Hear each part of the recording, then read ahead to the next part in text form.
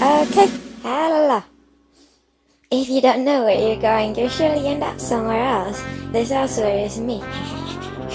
Are you my dream? Your nightmare. I'm not sure I can convince you of that. See, I'm only here because it's my job. A doorman or so. You take a bridge, which usually has two ends, logically.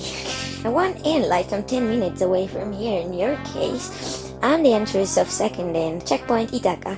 I see you doubt my words. That's good. You ask me what's beyond here. Yes, yes, you're right. They're here, yeah. sure, it all belongs to them. Temple inside, a cosmos and a drum skull disco, and Bermuda pretenders, four hands, one eye, Eulalia, you know Herbie?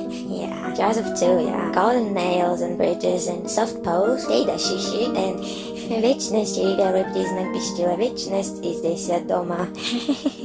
don't mind the languages, they don't exist. Well, well, welcome.